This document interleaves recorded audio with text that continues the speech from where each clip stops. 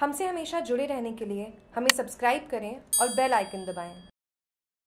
Thailand के एक restaurant में कल देर रात गैंगवॉर के चलते हुई फायरिंग की घटना में उदयपुर के तीन युवकों को गोली लगी इस घटना में उदयपुर शहर के हिरणमंगरी इलाके के सेक्टर पाँच इलाके में रहने वाले धीरज खगरेजा की मौत हो गई, जबकि इनके साथ गए सचिन और धर्मेंद्र शर्मा नाम के युवक गोली लगने से घायल हो गए जानकारी के अनुसार Dheeraj Khagreja ICICI Lombard company में इंश्योरेंस का काम करता था।